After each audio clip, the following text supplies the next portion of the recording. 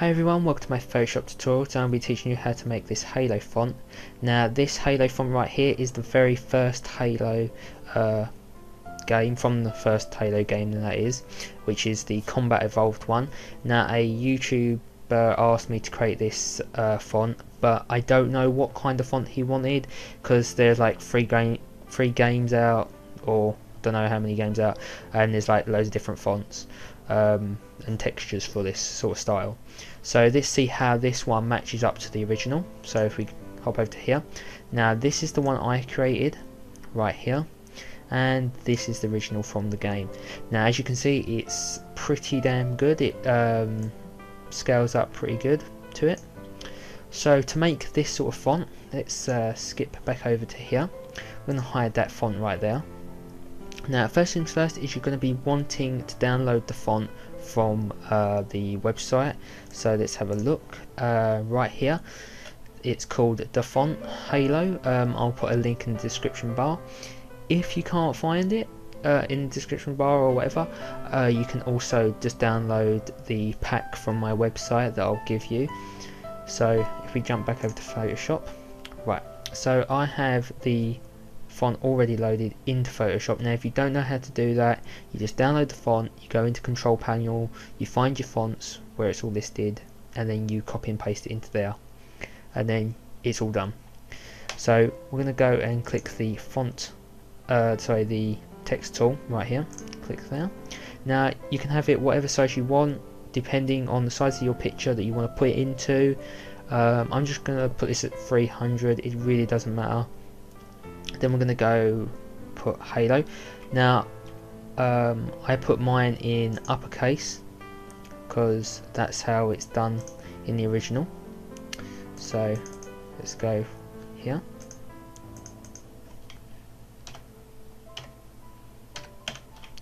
Now don't forget that you want this to be in white, not any other colour, because we're going to put the textures and everything into it.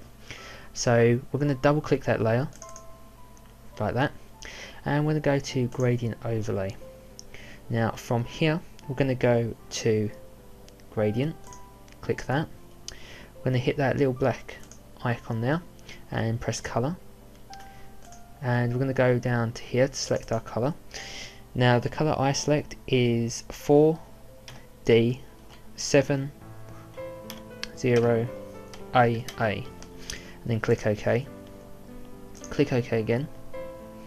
And then we're going to go to bevel and emboss. Now we're going to select inner bevel. The technique is going to be chisel hard. And then we're going to go for a size of 3. And then we're going to go down to angle. Now we're going to put the angle at minus 127 and altitude 30.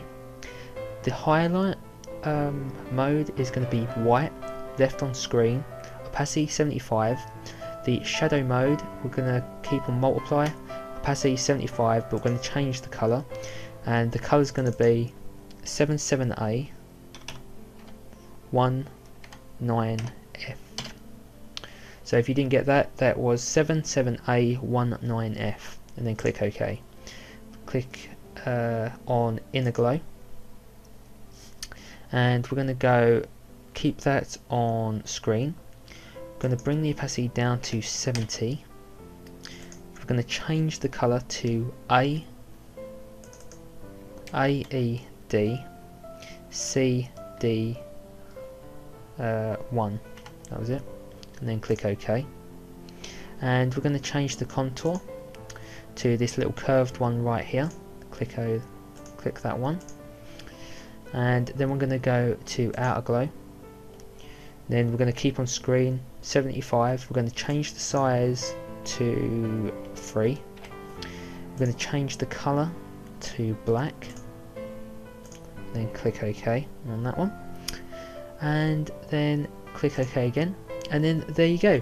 That is the font um, ready to use easy, simple, and it looks totally effective.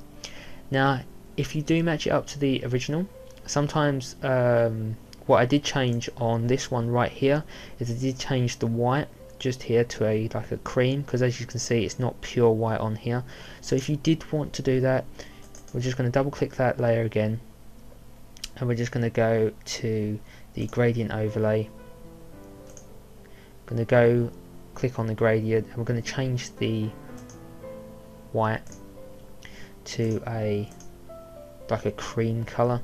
So if you did want to choose that you could go the cream color um, note would be F4ECEC that's what you put in to get that darker color which I don't want that so I'm going to keep it as a white.